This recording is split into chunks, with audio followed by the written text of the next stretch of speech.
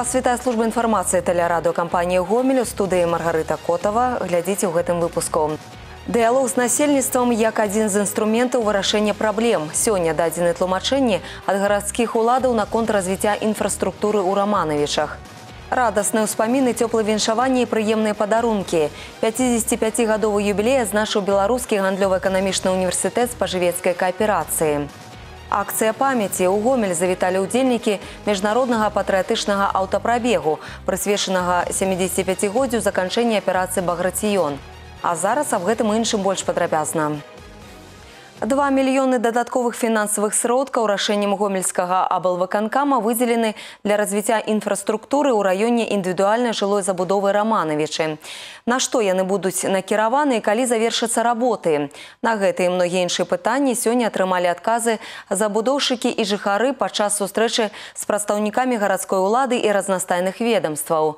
Дмітрый Котаў працягне. Пытанне развіцця інфраструктуры раманавічаў для многіх жыхароў і для тых, хто пакуль ажыццяўляе будаўніцтва свайго прыватнага дома набалелая. Праблемы самыя розныя. Перш за ўсё адсутнасць на некаторых дарогах асфальтавага пакрыцця і каля асобных участкаў інжынерных сетак і камунікацый. Апошняя тэма, дарэчы, неаднаразова ўзнімалася на прыёмах грамадзян і падчас прамых тэлефонных ліній. Усе хвалюючыя пытанні былі сёння абмеркаваны на сустрэчы са старшынёй гомельскага гарвыканкама Пятром Кірычэнкам. Яе выником представники инициативной группы застались задоволены. Все эти вопросы у нас накопились.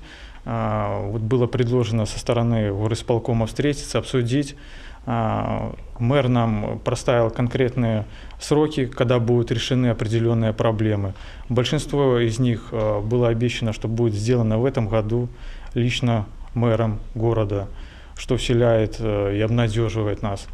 Поэтому будем надеяться, что эти вопросы будут оперативно решаться.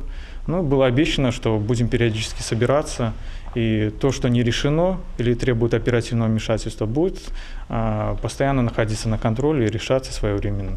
Пасля адбылася сустрэча прадстаўнікоў гарадской улады і разнастайных ведомстваў з забудоўшчыкамі і жыхарамі мікрараёна раманавічы. Людзей сабралася вельмі шмат. Пытанні тычыліся самых розных напрамкаў. Па кожнаму дадзены канструктыўны адказ. Да прыкладу, актуальным застаецца развіццё транспартнага руху. Пытанне зараз прапрацоўваецца. Свае прапановы можа выказаць кожны, патэлефанаваўшы па нумары гарачай лініі 41 20 25. Ждем предложений по этому вопросу вопросу одновременно могу пояснить, что все маршруты объединяются, изучаются подкорректированы уже к началу учебного года. Введено новое расписание с 2 сентября с учетом а, расписаний школы, факультативов.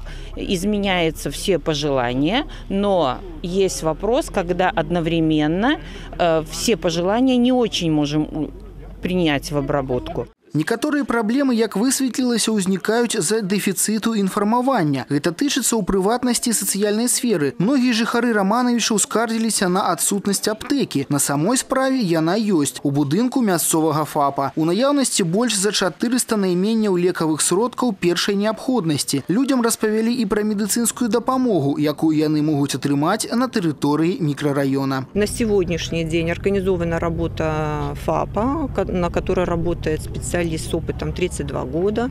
А, но опять же, здесь э, дефицит информирования вот жителей как раз-то новостройки о том, что ФАП вообще существует. Для них сегодня, я так понимаю, это было открытием.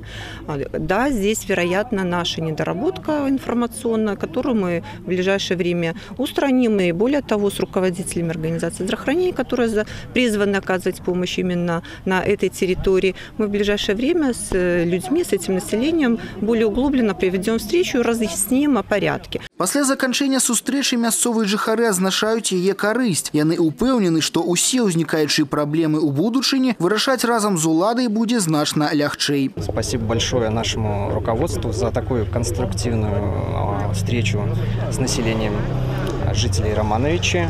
Вот. Были услышаны вопросы, были даны разъяснения. Конечно, по некоторым вопросам еще будут разбираться, есть да, проблемы. Вот.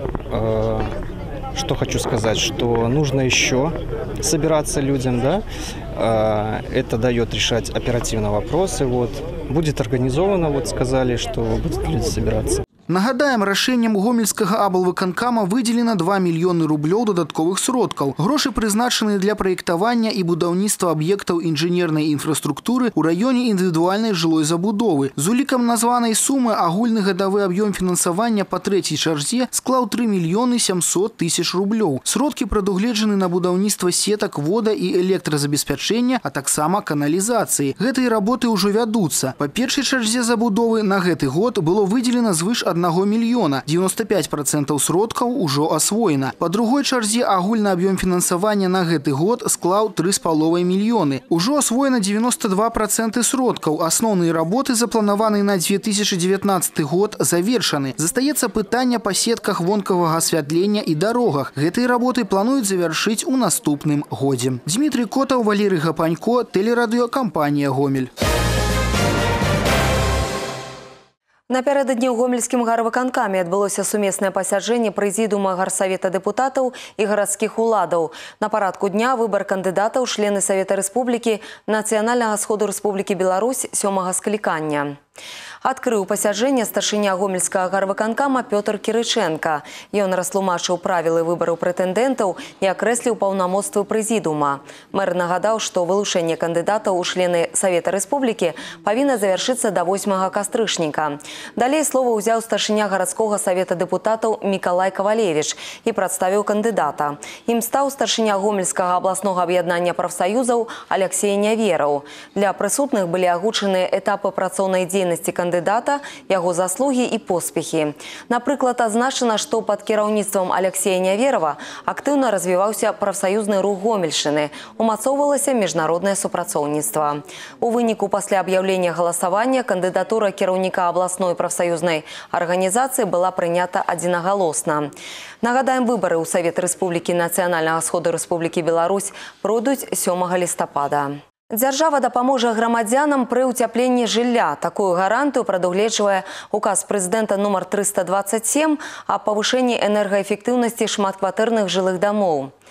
Галоўная мэта ўказа падтрымаць грамадзян у іх жаданні знізіць спажыванне цяпла, павялічыць энергаэфектыўнасць жылога дома, што ў сваю чаргу павысіць камфортнасць пражывання. Рашэнне о правядзенні адпаведных мерапрыемстваў, напрыклад, па замене сістэм ацяплення, устаноўцы лічыльнікаў цяпла, жыхары прымаюць на агульным сходзе дзвюма трэцямі галасоў. Ініцыятарамі правядзення энергаэфектыўных мерапрыемстваў могуць выступаць уласнікі, якія валодаюць не меншым адной чвэрцю галасоў ад іх агульнай агульнай колькасці. А таксама упаўнаважаная асоба па кіраванні агульнай маёмасцю сумеснага домаўладання, праўленне таварыства ўласнікаў і мясцовыя выканаўчыя органы ўлады. 50% кошту энергаэфектыўных мерапрыемстваў бярэ на сябе дзяржава. Астатнія 50% аплачваюць грамадзяне. Пры гэтым даецца растэрміноўка да 10 гадоў, а для малазабяспечаных до 15. Финансирование данных мероприятий будет осуществляться за счет средств от приватизации жилых помещений. Также э, до 10% средств будут направляться за счет средств капитального ремонта. Ну а также бюджетные средства будут открыты специальные счета, на которые будут осуществляться деньги для финансирования этих мероприятий. Зараз распрацоўваецца праект пастанаўлення Савета міністраў, які удакладніць механізм фінансавання мерапрыемстваў па цеплавой мадэрнізацыі шматкватэрных дамоў. Указ уступіць у сілу 7 снежня. Вырашаць праблемы, якія ўзнікаюць у сферы ЖКГ прызванай жыллёвай асацыяцыі. Пакуль у гомельскай вобласці іх толькі тры, у цэлым па Беларусі 10. Такія саюзы аб'ядноўваюць таварыствы ўласнікаў і кантактуюць з дзяржаўнымі прадпрыемствамі гэтай галіны. У гомелі прайшоў першы семінар, прысвечаны перспектывам развіцця рэгіянальных жыллёвых асацыяцый і пытанням узаемадзеяння арганізацыі ўласнікаў і мясцовай улады. У гомельскай вобласці больш як 1300 таварыстваў уласнікаў і кааператываў кааператываў. Жыллёвыя асацыяцыі створаныя ў Мазыры, Светлагорску і Гомелі. Пад іх кантролем каля 350 дамоў. Такія аб'яднанні ёсць і ў суседніх краінах, але нідзе не распрацаваная стратэгія устойлівага развіцця. Неабходная мадэль дзейнічае ў Германіі. Зараз у Беларусі выкарыстоўваецца менавіта нямецкі вопыт. У чым сутнасць любыя фінансавыя пытанні і звароты жыльцоў вырашаюцца ўнутры асацыяцыі. Гэта адбываецца больш хутка і менш затратна. Але гэта не ўсе накірункі, якія знаходзяцца ў кампетэнцыі жыллёвых асацыяцый. Цель сегодняшнего мероприятия – это кооперация с местными органами власти, когда представители жилищной ассоциации и местной власти лучше узнают друг о друге, лучше поймут друг друга и вместе поговорят о том, какие мероприятия э, можно решать совместно. Например, проведение там, Международного дня соседей, проведение каких-то праздников, э, совместная консультация наших граждан по вопросам коммунальной грамотности и другие. Это может быть самые разные темы. 55 выдатны юбілей. Асабліва прыемна сустракаць яго разам з самымі дарагімі людзьмі. Прыгожую дату адзначыў беларускі гандлёва-эканамічны універсітэт спажывецкай кааперацыі. Юбіляра прыехалі памешаваць сябры установы з Беларусі і суседніх краін. Не абмінула святочнае мерапрыемства і наша здымачная брыгада. Марына Джалая з падрабязнасцямі. Да ўрачыстай часткі свята паўгадзіны прыбываюць госці, па-сяброўску абдымаюцца. Адразу бачна, з якой радасцю яны сустракаюць адзін аднаго. Беларускі гандлёва-эканамічны універсітэт спажывецкай кааперацыі многія дзесяцігоддзі аб'ядноўвае не толькі навучальныя установы, але і асобных людзей. Тут яны знаёмяцца, далей супрацоўнічаюць і як вынік становяцца надзейнымі сябрамі. Пожелать, конечно, всему коллективу, лично ректору, конечно, всем профессорам-преподавательскому составу, сотрудникам успехов, удачи, загадывать какие-то, может быть, даже даже на сногсшибательные планы, задачи, да, которые вы точно, я уверен, можете воплотить, потому что у вас великолепный коллектив, очень мудрый руководитель и великолепные специалисты. Добрый путь, успехов, всего вам самого доброго. Мы едем к друзьям, и это самое главное. Несмотря на нашу занятость, мы точно знаем, что здесь, в этом университете, мы сами поделимся своим опытом. Мы возьмем тот опыт, который привезли с других стран – У ліку шматлікіх ганаровых гасцей былы рэктар установы Алана Вумчык. Яна з гонарам прызнаецца, што універсітэт спажывецкай кааперацыі заўсёды быў месцам, куды хацелася прыходзіць спачатку на вучобу, потым на працу. Семь лет я уже занимаюсь законотворческой деятельностью, но мне кажется, что этот срок э, все равно не смог заглушить главное ощущение в сердце. Университет – это моя жизнь. Э, я закончила этот университет и счастлива, что именно э, этот вуз я выбрала для получения второго, своего основного образования. Э, я провела здесь основную трудовую деятельность. И юбилей – это как экскурс в историю. И вы знаете, вот эти воспоминания очень яркие, теплые и будоражат до глубины души Тое, што універсітэт паспяхова развіваецца і становіцца ўсё больш вядомым на міжнароднай адукацыйнай пляцоўцы, дэманструюць вынікі шматлікіх навуковых канферэнцый, тэлемастоў і семінараў. Выпускнікі установы запатрабаваныя на рынку працы. Іх веды і падрыхтоўка традыцыйна выклікаюць зацікаўленасць не толькі беларускіх працадаўцаў. Выполняя те или иные задачи, наши специалисты всегда на уровне и получают хороший результат. Это благодаря вот этой фундаментальной подготовке, которую они получают в стенах нашего университета. Падчас урачыстага канцэрту у адрас кіраўніцтва і прафесарска-педагагічнага составу універсітэта гучаць віншаванні, словы падзякі, уручаюцца граматы. Нягледзячы на тое, што дасягненняў у апошнія гады было шмат, ёсць тыя, якімі тут асабліва ганарацца. Университет в эти дни э, собрал очень много гостей. Приехали все наши друзья, приехали представители сетевого университета «Кооперация», а в этот университет входят 9 университетов.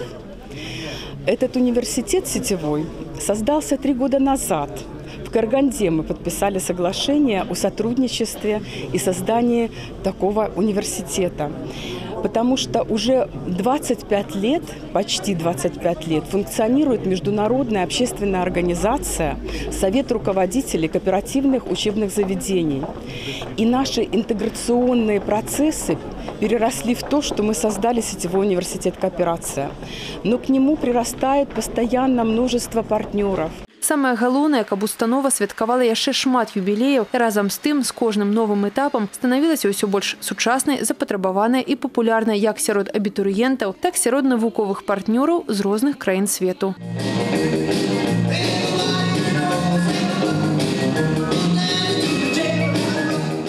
Марына Джала, Валерий Гапанько, тэлерадыёкампанія Гомель. У гомелі прайшоў урачысты сход прымеркаваны да дня машынабудаўніка. Віншаванні з прафесійным святам работнікі галіны будуць прымаць у нядзелю 29 верасня. А напярэдадні ўшановалі тых, хто дасягнуў поспехаў у нялёгкай справе будаўніцтве машын. У цэнтры ўвагі супрацоўнікі завода Гомсельмаш.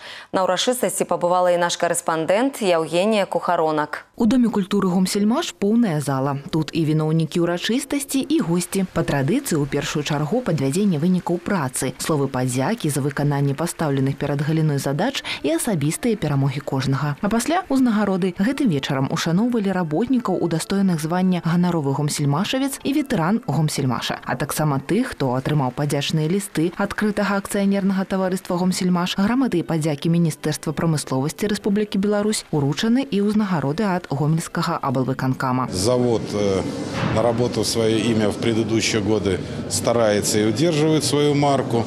Все временные э, трудности, я думаю, переживут, потому что оказывается поддержка и на областном уровне, и на государственном.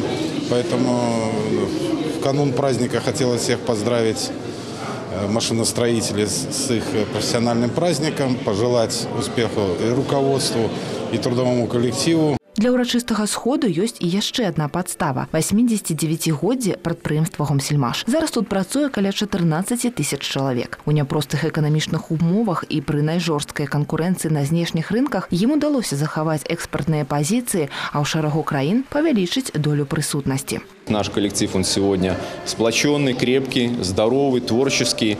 И нет оснований полагать, что любые трудности, которые не встанут на нашем пути, не будут побеждены. Я бы, конечно же, хотел пожелать каждому из машиностроителей, каждому из своих работников, в первую очередь, крепкого здоровья, стабильности, надежного тыла, дабы каждый день было отличнейшее настроение идти на работу и еще более лучшим настроением возвращаться домой. Евгений Кухаронок, Андрей Иванов, телерадиокомпания «Гомель».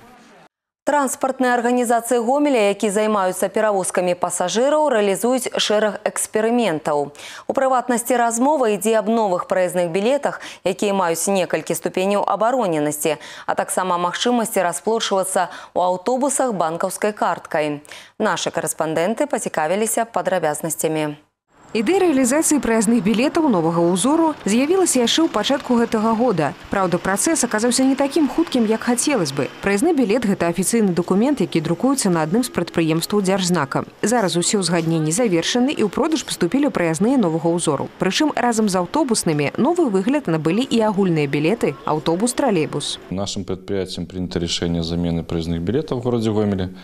В связи с тем, что в последний период времени мы понимаем, что количество подделок возрастает. Эти проездные отличаются количеством степеней защиты, их 8 настоящих проездных, и позволяют нам получать, наверное, больше объем выручки по сравнению с предыдущим. То есть мы понимаем, что меньше в настоящий момент будет поддельных проездных документов. Калі абароненыя ад падробак праязныя білеты ўжо сталі рэальнасцю, то магчымасць разлічыцца ў аўтобусе банкаўскай карткай яшчэ можна лічыць эксперыментам. Пакуль такую паслугу аказвае толькі кандуктар першага гомельскага аўтапарка Людміла Чарнова. Кажа, гэта сапраўды зручна, асабліва падчас набыцця дэкадных і месячных праязных. Хоць і за звычайныя талончыкі на одну паездку такім чынам можна таксама расплаціцца. Пасажыры да такой паслугі яшчэ не прывыклі, але кандуктар пераканана, гэта справа часу. Сейчас же все в основном с карточками. Когда выходит человек, допустим, вот предлагаешь проездной, он и говорит, что а я деньги еще не снял. Или там заходит пассажир,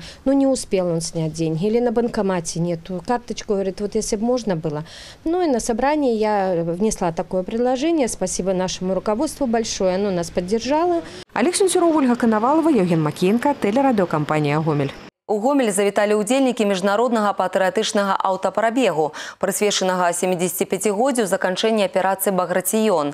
Сустракалі гасцей з рассіі актывісты абласной арганізацыі грамадскага аб'яднання Белая Русь. 2019 стаў годам асаблівых юбілеяў 75годдзя вызвалення беларусі ад фашысцкіх захопнікаў і завяршэння ленінградскай бітвы у іх выніку савецкія войскі выйшлі на дзяржаўную мяжу ссср удзельнікі аўтапрабегу вырашылі ўшанаваць памяць герояў гэтых знамінальных падзей паездкай па гарадах якія закранула аперацыя баграцыён гомель стаў 20 кропкай у маршруце разам з актывам белай русі госці ўсклалі кветкі на алеі герояў і ўшанавалі памяць за загинувших хвилиной молчания. 10 сентября мы стартовали от Поклонной горы в Москве.